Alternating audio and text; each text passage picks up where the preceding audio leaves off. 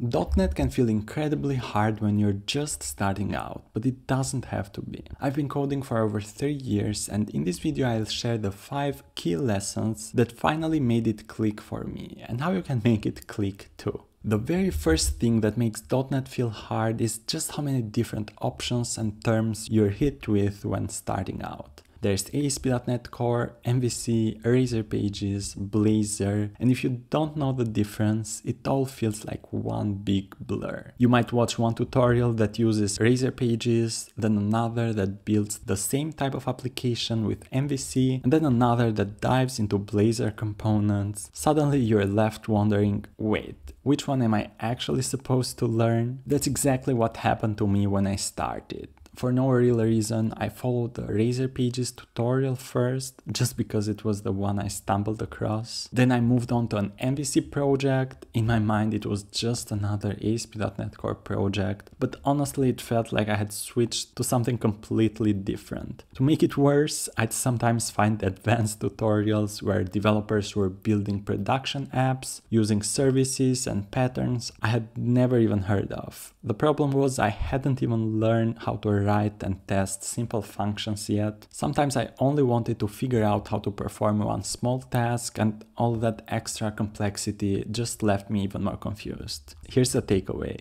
When you're starting with .NET, don't get distracted by every framework and advanced tutorial you see. Stick to the basics first, pick one main path like ASP.NET Core MVC, which is my recommendation. Identify the core topics you need to learn and give yourself permission to ignore the rest until you're ready. The second thing that made a big difference for me was learning to really understand my errors before moving forward. It's tempting to just apply a quick fix or copy a solution from Stack Overflow and keep coding, but if you don't know why the error happened, you'll just run into it again later. In most cases, the quick fixes don't solve the root problem, they only hide it. I remember this happening all the time when I first worked with Entity Framework. I'd set up my models but connect them incorrectly and when I tried to save data, the database would throw all kinds of errors. Instead of figuring out what actually went wrong, I would often think the program itself wasn't working properly. I would blame the computer because, of course, always the logical thing to do. So I would delete my migrations, drop the database, and sometimes even start a brand new project just to escape the problem. Of course, that only wasted hours. Eventually, I had to slow down, read the error messages more carefully, and search for explanations deeper. Once I understood that the issue issue was with how my models were linked.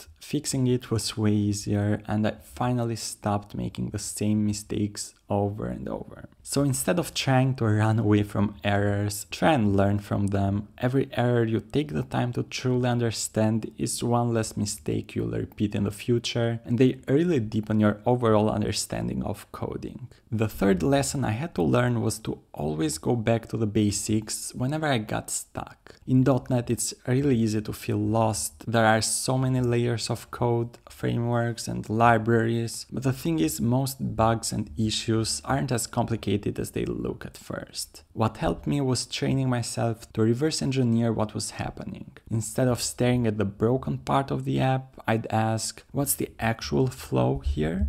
First, a request comes from the user, then it hits a controller or method, then that method calls the database, finally the result is returned to the browser. By walking through that simple path step by step, I could usually spot where things went wrong. Sometimes you may think your database is broken, but if you trace the flow, the problem may just be a missing return statement in the controller. And when you learn to debug, maybe a bit later, you'll get better at spotting other errors. So here's the key takeaway. When you're lost, try not to overthink it. Strip things back to the basics, walk through the flow, and most of the time you'll find that the problem is much simpler than it first appeared. Just in case you'd like my direct help during this whole process, you can find me inside the .NET Squad. It's a place you can turn to whenever you're stuck on code or need some guidance. You'll learn .NET faster and won't have to go through it alone. If you join now, you can even try it for free. The link is below. Moving on, another big thing I realized is that repetition is the only way to make .NET concepts realistic. You don't learn programming by memorizing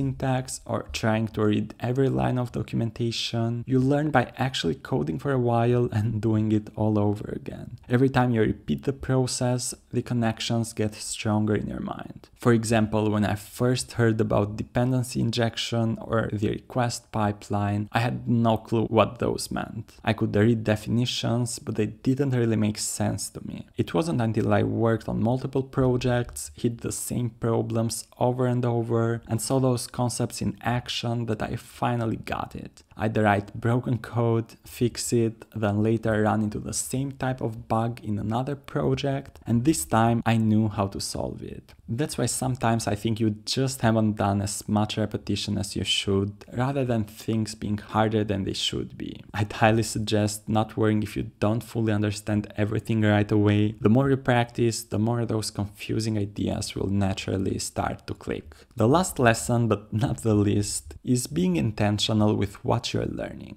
It's easy to just jump into the next random tutorial or click on another video or read more docs, but most of the time that only adds more noise. If you're not solving something specific, you'll end up drowning in information that doesn't actually help you. What worked for me was focusing only on the things my project needed at that moment. For example, when I was building a web app with MVC, I stayed focused on the framework fundamentals first. I learned about controllers, models, views, and eventually authentication, because those were the building blocks my project required. I didn't waste time learning advanced patterns or optimizations that I wasn't going to use or apply in my current project yet. As my projects grew, I naturally picked up those advanced concepts later when I actually needed them. I believe projects are a great guide for your learning. Learn the concepts that move you forward right now and don't get distracted by everything else. There's only so much you can really learn or understand at once, and this also helps you put all your focus on what's in front of you. So, those are the five lessons that made .NET finally click for me. Another massive help to accelerate your learning is having a roadmap to follow so you know exactly what you need to focus on. I've made a video explaining exactly that. It's on the screen now, so click on it and I'll see you there.